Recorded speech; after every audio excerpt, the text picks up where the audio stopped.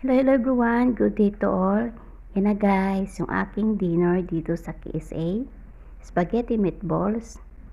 Yan na guys, yung aking my own recipe.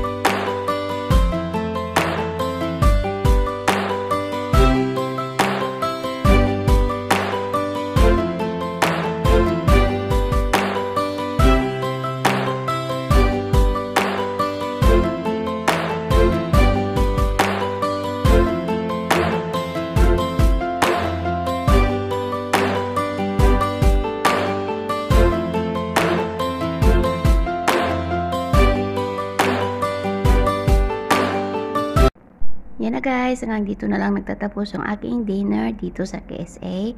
And sa mga hindi pa nakasubscribe sa aking channel, don't forget like, share, subscribe, and hit the notification bell para lahat na aking upload updated kayo. Bye-bye! See you in my next vlog!